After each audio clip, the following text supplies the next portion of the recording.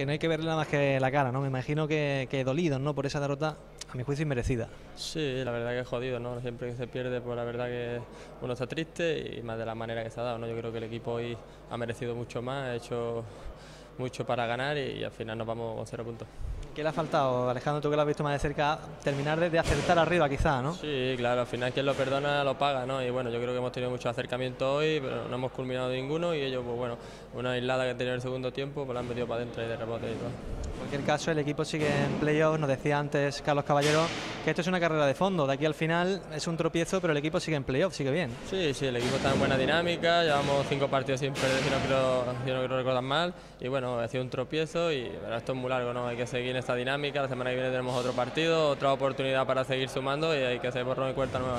Por él te pregunto ya y te dejo, partido en Elche ante otro rival directo. Sí, otro equipo que también ha ganado un partido importante en Zaragoza, que tiene una moral buena, que se ha metido creo que los playoffs y, y bueno, al final todos los partidos son complicados.